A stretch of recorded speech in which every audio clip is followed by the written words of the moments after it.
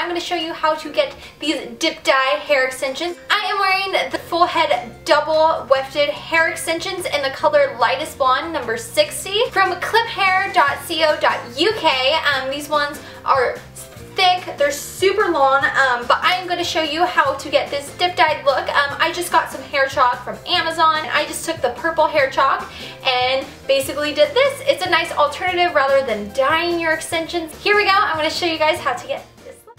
after getting the area that you do want to dip dye completely wet, you are just going to take the hair chalk and basically rub it on that area over and over again.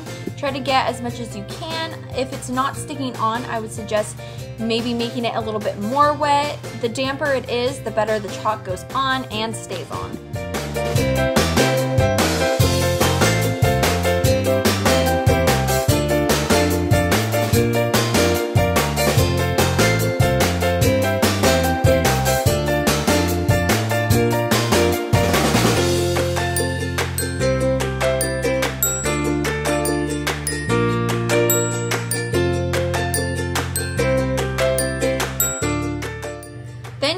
Basically gonna do the exact same thing to the other side.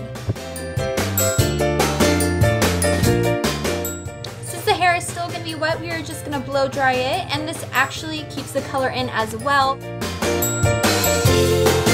How you get these wonderful fun dip dye hair extensions now you can go and get these um, info will be down below as well but these are really fun something different all that so